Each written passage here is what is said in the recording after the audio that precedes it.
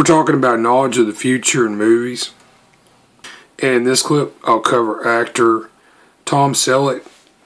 He's probably best known for his role as television's Magnum PI. This ran on CBS from 1980 until 1988. He was considered for the role of Indiana Jones in Raiders of the Lost Ark. Also in Three Men and a Baby, 1987, and Quigley Down Under, 1990. This is my second video on Tom Selleck.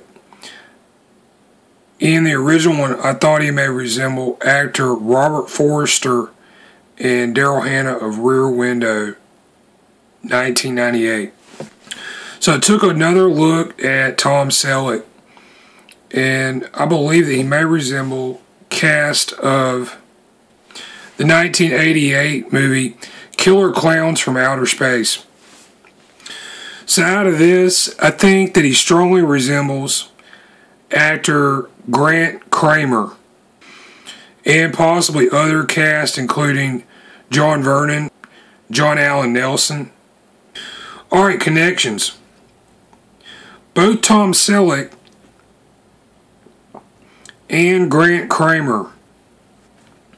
they had roles on the CBS soap opera on television in the United States, The Young and the Restless. Tom Selleck was on the series from 1974 until 1976 as the character Jed Andrews. Grant Kramer played the character Sean Garrett on The Young and the Restless in 1984. Actors Tom Selleck and John Vernon. They were both in the television miniseries The Sacketts in 1979. Also in this were Sam Elliott and Glenn Ford. This was broadcast on NBC. Based on the novels by author Louis L'Amour. Okay, other connections. Yeah, I didn't think I would find so many links between Tom Selleck and clowns, but I found uh, this movie that he was in entitled Her Alibi 1989. Actor Aeron Macintyre is in Killer Klowns from Outer Space. Here he is, he's the guy on the left.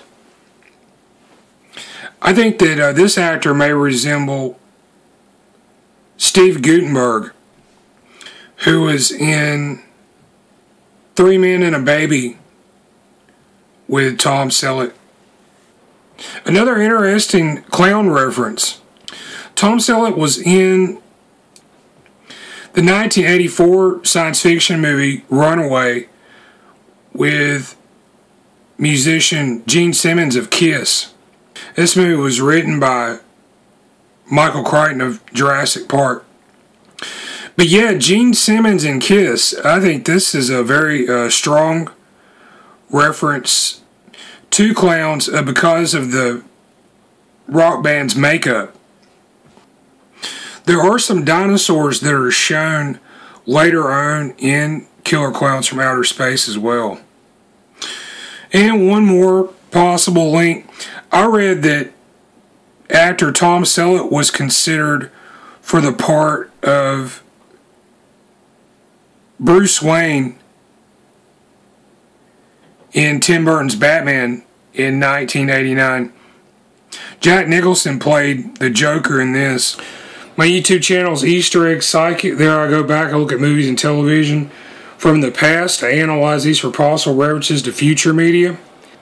These may appear in the form of anecdotes, idioms, anagrams, hidden in the subtext of the work in question. I also use an unconventional method where I look at the likenesses of the actors.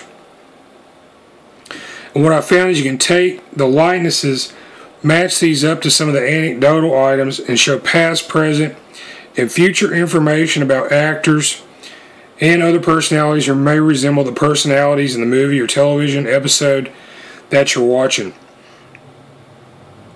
My email contact is Easter Egg Guy That's G U Y at yahoo.com. Thanks for watching.